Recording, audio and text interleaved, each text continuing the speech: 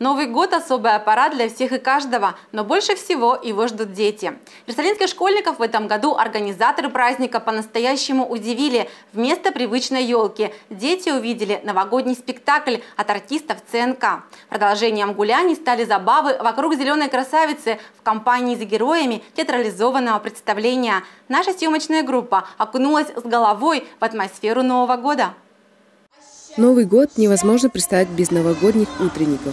Впервые в Ярцеле школа совместно с Центром национальных культур подготовила праздничные мероприятия совместно с самодеятельными артистами. С детства любимая история «Волшебник изумрудного города» увлекла ребят в удивительный неповторимый мир сказки. Необычная история приключений маленькой девочки Элли и ее друзей не оставила равнодушной.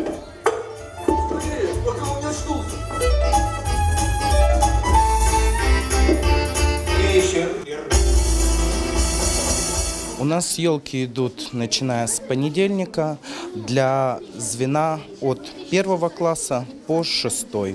Объединились мы самостоятельно, потому что это взаимовыгодное сотрудничество, так как они нам предоставляют готовые театральные постановки, где играют уже актеры профессионально на должном уровне. Представление мне понравилось. Э, больше всего мне понравился железный дровосек. Мне очень понравилось. Было много интересных героев. И в целом все очень хорошо. Не обошлось в этот вечер и без главных героев новогоднего торжества – Деда Мороза и Снегурочки. Без этих персонажей встреча Нового года теряет очарование.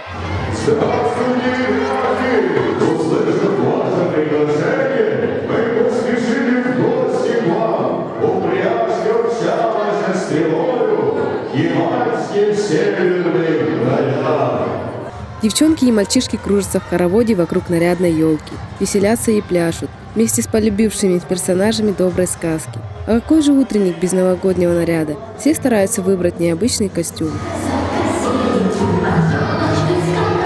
Мы просто с девочками договорились из класса, ну что у кого есть кигуруми, ну так костюм называется, ну так мы и оденемся. Новый год – пора чудес и волшебства. Его с нетерпением ждут и взрослые, и дети. Это пора подарков, долгожданных встреч с родными и друзьями. Время семейных посиделок. Дарят подарки как бы. Такое... И никто не остается без подарка. Новый год очень семейный праздник. То, что Даже... есть можно собраться. Мне нравится то, что мы все собираемся, э, ну, здорово проводим время, подарки, конечно. В преддверии Нового года в школе проходит еще одно интересное мероприятие – конкурс елок. Из какого только любого материала не изготовили новогоднюю красавицу ребята из разных классов.